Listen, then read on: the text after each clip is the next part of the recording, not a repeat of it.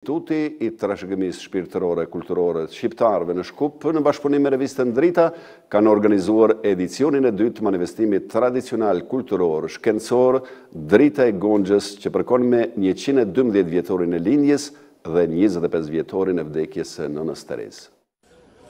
Në njëqind e dymbëdhjetë vjetorin e lindjes së Anjez Gonxhe Bojaxhiu, e njohur si Nënë Tereza, pranë shtatores së saj në Prishtinë, u mbajt manifestimi tradicional e kulturor shkencor Drita e Gonxhës.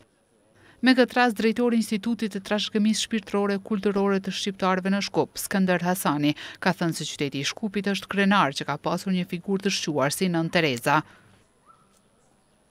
Shkupi është krenar që nga gjiri i saj doli një bijë e cila e përçoi trashëgiminë, kodin e shqiptarëve mbarë botës mbarë.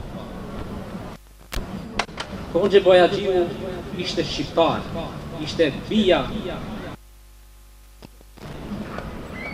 Ndërsa Nënë Tereza është figurë e botës mbarë. Nënë Tereza që u bë shejt në sajë të vetëflijimit për të tjerët, ajo ishte pasuria jonë e madhe kombëtare, e cila dhe sot po arrin të afirmojë vlera civilizuese një populli që me sakrificë të madhe titanike nxori nga gjiri i vet Gjergj Kastriotin, Ismail Qemalin, Hasan Prishtinën, Adem Jasharin dhe shumë burra të mdhaj të kombit që falë tyne e gëzojmë lirinë që kemi sot.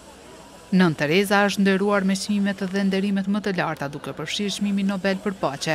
Shën Nënë Tereza ka ndrruar jetë më pesë shtator të vitit një mijë e nëntëqind e nëntëdhjetë e shtatë.